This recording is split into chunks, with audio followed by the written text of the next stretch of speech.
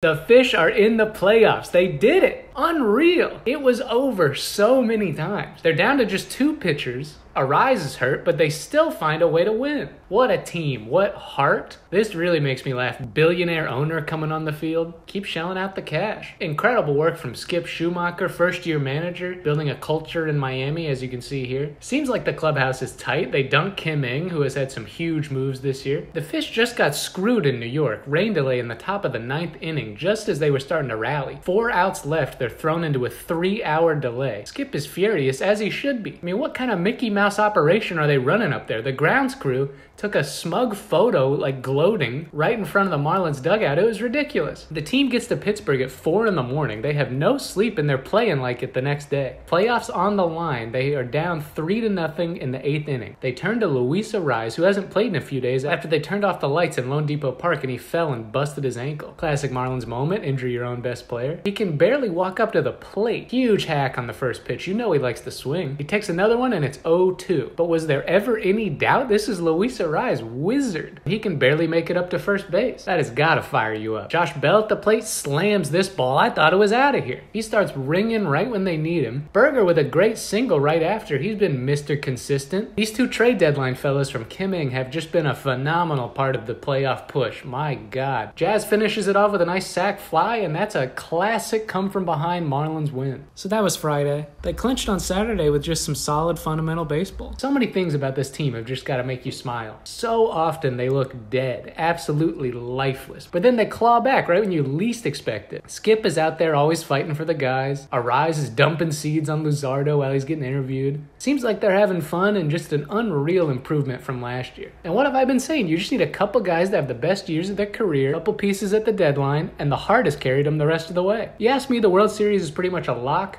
After decades of suffering, this is what it's all about. Live it up, fish fans. God bless us all.